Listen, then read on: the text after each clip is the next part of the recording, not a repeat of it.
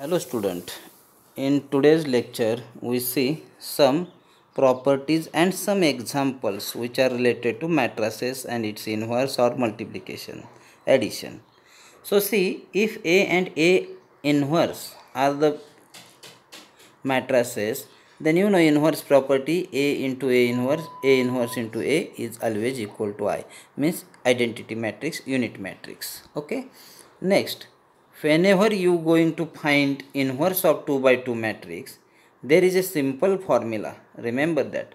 1 upon AD minus BC म्हणजे principal diagonal minus reverse diagonal one upon A D minus B C आणि इथे काय झालेलं आहे पहा.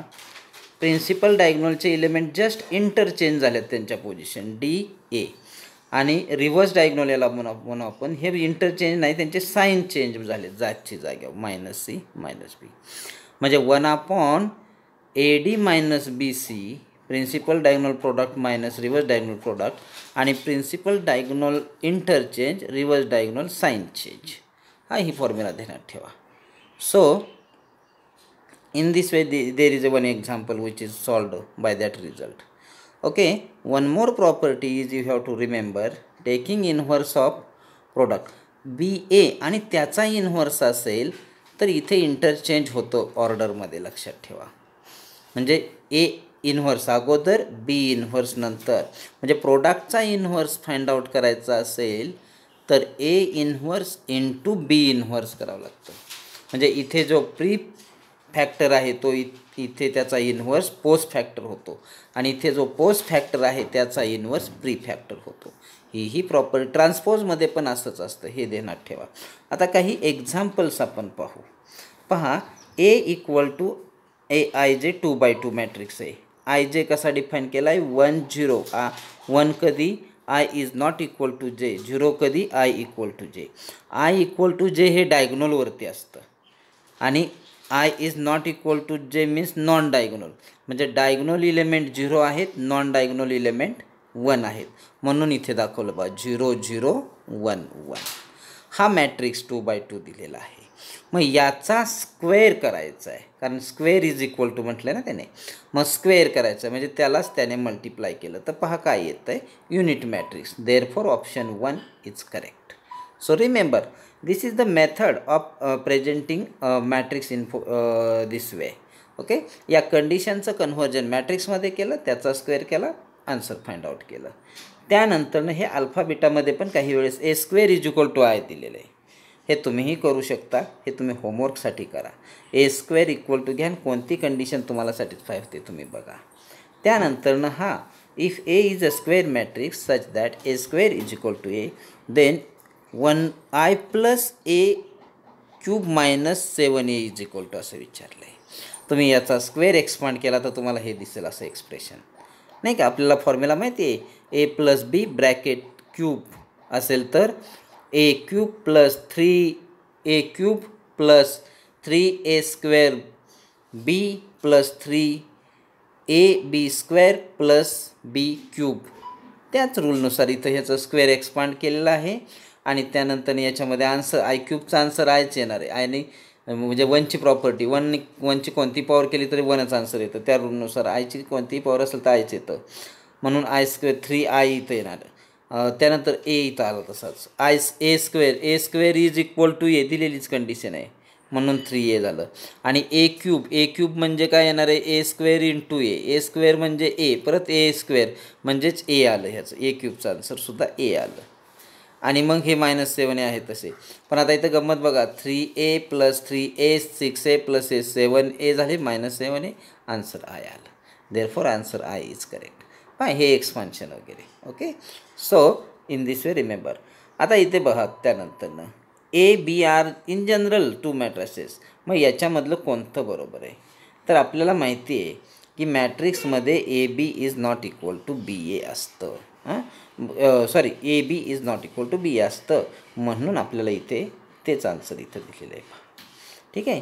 Generally A B equal to B A असू शकत नाही. A B equal to zero हे पण नाही. पण जनरल प्रॉपर्टी काय सांगते तर A B is not equal to B A okay then आता इथे पण पहा छान प्रॉब्लेम आहे हा सुद्धा. हा कशाच्या रिलेटेड आहे?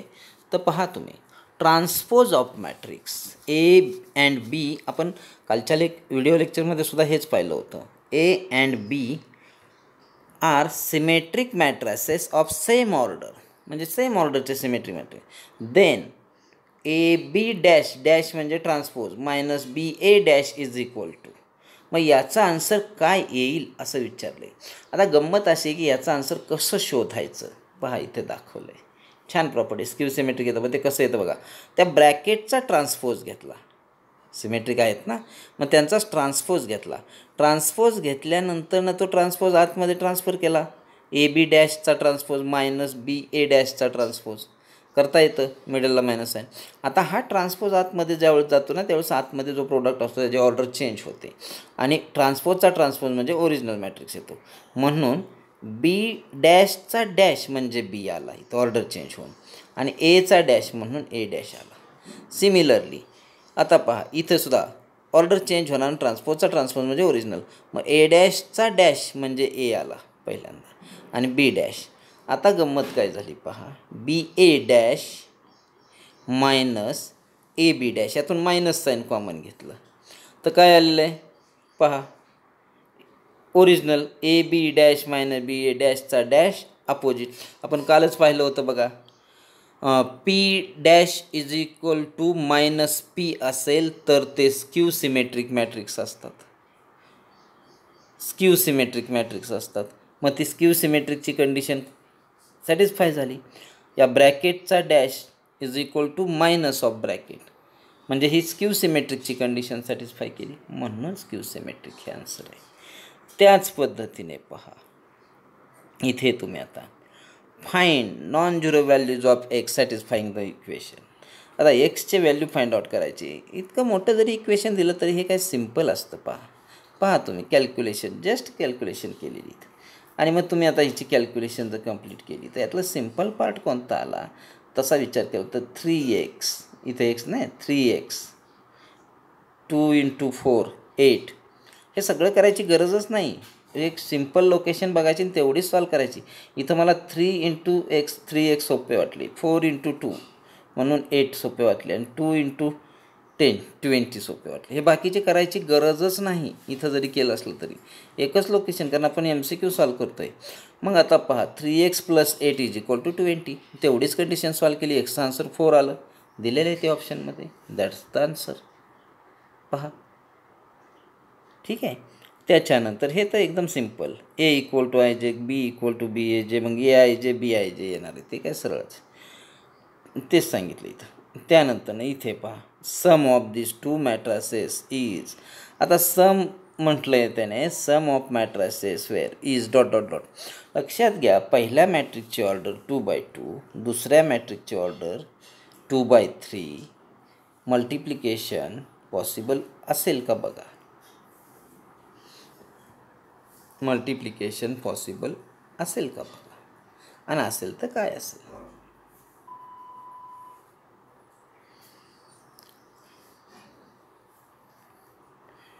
Two by two. आणि हे काय आहे? Two by three. बघा. Two by two two by three. Two by three येणार आहे मॅट्रिक्स त्याच्यानंतर हे पहा. Value y minus x value find out करा म्हणते हे असं दिलेलं आहे इथं एक्स आहे.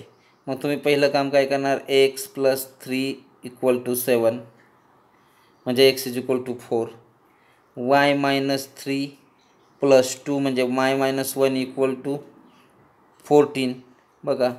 म्हणजे तुम्ही होई काय? वाय फाइंड आउट झालं ते. म्हणजे एक्सची व्हॅल्यू टू आली वायची व्हॅल्यू सिक्स आली. मग दोघांचा डिफरन्स मग six nine minus two seven seven answer correct त्यानंतर आता इथे पहा. डायगोनल मॅट्रिक्स दिलेला आहे. एक्स वाय झेड मल्टिपलला दिलेलं आहे आणि हे वन टू वन दिलेलं आहे. X y plus y plus z विचारलेलं आहे. सिंपल आहे. वन झिरो झिरोने मल्टिप्लाय केलं तर एक्स येणार आहे. झिरो वाय झिरोने मल्टिप्लाय केलं तर मायनस वाय म्हणजे एक्सचा आन्सर वन आहे. Minus y equal to two म्हणजे वायचा आन्सर मायनस टू आहे आणि झेडचा आन्सर वन आहे. मग त्या व्हॅल्यू पुटअप करा. पहा इथं पण दाखवलं आहे या व्हॅल्यू पुटअप करा आणि यांची सम घ्या. काय येते पहा. वन प्लस टू झिरो येणार आहे. That the final answer zero so in this way in this way we had seen that all part मग आजच्या लेक्चरमधून आपल्याला काय थोडक्यात तर सिंपल हे प्रॉब्लेम्स आपण पाहिले. सिंपल प्रॉब्लेम पाहत असताना इथे तुम्हाला काही आय जे केमधल्या कंडिशन्स दिसल्या. काही हे जे असे खूप मोठे प्रॉब्लेम दिसतात पण ते सॉल्व करायला इझी असतात. हे पाहिलं. त्याच्यानंतरनं हे ही ट्रान्सपोजची ही एक property P transpose equal to minus P असेल तर पी स्क्यू सिमेट्रिक असतो. काल डिस्कस केले. तेच वापरली इथे. त्याच्यानंतरनं here A B is not equal to B A in matrix हे पाहिलं आपण. त्यानंतरनं हे स्क्वेअरच्या रिलेटेड म्हणजे क्यूब आपला रेग्युलर क्यूबचा फॉर्म्युला अप्लाय केला स्क्वेअरची कंडिशन अप्लाय केली आणि हे आन्सर फाइंड आउट केलं. हेही सिंपल होतं. हे तुम्हाला होमवर्कला दिलेलं आहे. आणि त्यानंतरनं हे तुमच्यासाठी हा जो प्रॉब्लेम आहे आय जे केमधून कन्व्हर्ट केला मॅट्रिक्समध्ये हाही तुम्ही पाहिला. या काही कंडिशन पाहिल्या. सो रिमेंबर आता इथे काही प्रॉपर्टीजसुद्धा दिलेल्या आहेत आपल्याला. ह्याही तुम्ही ध्यानात ठेवा. पुढे आपल्याला लागणार इन्व्हर्स फाइंड आउट करण्याच्या ह्या मेथड्स वगैरे ते जाऊ द्यात. किंवा पुढे आपण ॲडजॉईन मेथड वगैरे पाहणार आहे. पण याच्यामध्ये काही कंडिशन्स ज्या आहेत त्या फार महत्त्वाच्या आहेत. पहा ही condition a diagonal matrix is invertible म्हणजे जो डायग्नल मॅट्रिक्स असतो म्हणजे ज्याच्या फक्त डायग्नललाच इलिमेंट असतात. If and only if all elements in diagonal are non zero म्हणजे ही कंडिशन फार महत्त्वाची आहे पहा. डायग्नोल इलेमेंट कधी आपल्याला इन्व्हर्स फाइंड आउट करता येतो? तर डायग्नोलला सर्व इलेमेंट हे नॉन झिरो असतील तर हे महत्त्वाचं लक्षात ठेवा.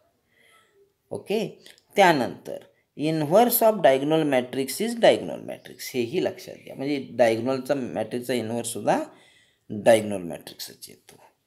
ठीक? आहे त्याच्यानंतर if A is non singular matrix म्हणजे नॉन सिंग त्याचं डिटर्मिनंट नॉन झिरो येतं आहे तर मग डिटर्मिनंट ऑफ इनव्हर्स मॅट्रिक्स काय असतो? म्हणजे इनव्हर्स मॅट्रिक फाइंड आउट केला तुम्ही त्याचा डिटर्मिनंट फाइंड आउट केला तर तो one upon determinant of that matrix असतो. हेही तुम्ही ध्यानात घ्या. त्याच्यानंतरनं इथं आणखीन एक if every square matrix A can be express as sum of symmetric matrix and skew symmetric matrix. तर कोणताही मॅट्रिक्स असू द्या स्क्वेअर मॅट्रिक्स असू द्या तो आपल्याला sum of symmetric and skew सिमेट्रिकमध्ये convert करता येतो. आणि ते कसं तर one by two A plus transpose of A plus one by two A minus transpose of transpose of A तर एकदा समची हाफ घ्या एकदा सबट्रॅक्शनची हाफ घ्या. तुम्हाला याच्यातून तुम्हाला सिमेट्रिक आणि स्क्यू सिमेट्रिक फॉर्म मिळेल. असंही त्याच्यात आपल्याला समजतं. त्याच्यानंतरनं इथे तुम्हाला काही प्रॉपर्टीज दिसत आहेत. त्या प्रॉपर्टीज तुम्ही ध्यानात ठेवणार आहातच.